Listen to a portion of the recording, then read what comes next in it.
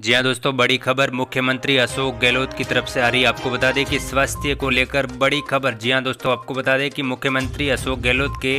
स्वास्थ्य से जुड़ी बड़ी खबर सामने आई है मुख्यमंत्री अशोक गहलोत का स्वास्थ्य अब बेहतर स्थिति में है जी हाँ दोस्तों बड़ी खबर सीएम ने जल्दी फिर से कामकाज शुरू करने की बात कही है अभी दिल्ली में आई टीम मुख्यमंत्री अशोक गहलोत के स्वास्थ्य टीम स्वास्थ्य की जांच कर रही है आपको बता दें कि मुख्यमंत्री अशोक गहलोत ने इंस्टीट्यूट के माध्यम से अपने स्वास्थ्य के बारे में जानकारी दी कि कहा कि मैं अभी